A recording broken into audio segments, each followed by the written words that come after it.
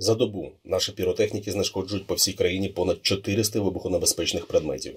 В Україні от-от має розпочатися посівна кампанія, тому ризики травмування чи смерті від ВНП стають надзвичайно високими.